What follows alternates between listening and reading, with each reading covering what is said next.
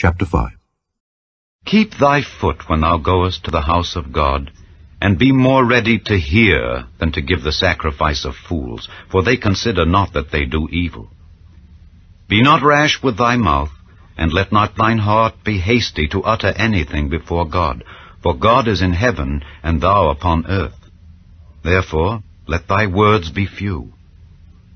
For a dream cometh through the multitude of business, and a fool's voice is known by multitude of words.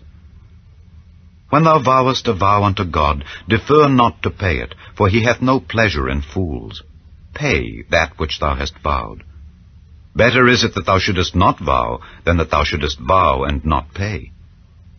Suffer not thy mouth to cause thy flesh to sin, neither say thou before the angel that it was an error. Wherefore should God be angry at thy voice and destroy the work of thine hands? For in the multitude of dreams and many words there are also divers vanities. But fear thou God. If thou seest the oppression of the poor, and violent perverting of judgment and justice in a province, marvel not at the matter. For he that is higher than the highest regardeth, and there be higher than they. Moreover, the profit of the earth is for all. The king himself is served by the field. He that loveth silver shall not be satisfied with silver, nor he that loveth abundance with increase.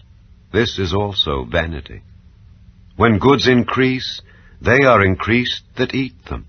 And what good is there to the owners thereof, saving the beholding of them with their eyes? The sleep of a laboring man is sweet, whether he eat little or much, but the abundance of the rich will not suffer him to sleep. There is a sore evil which I have seen under the sun, namely, riches kept for the owners thereof to their hurt.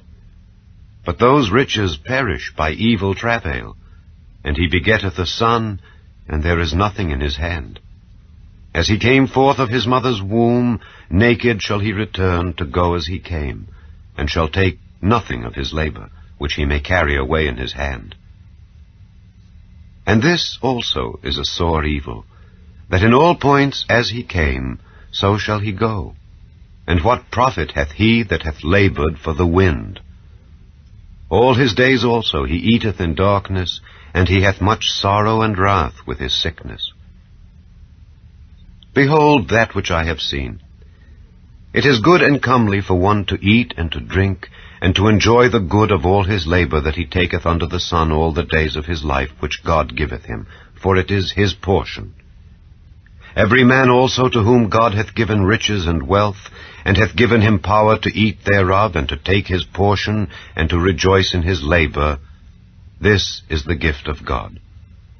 For he shall not much remember the days of his life, because God answereth him in the joy of his heart.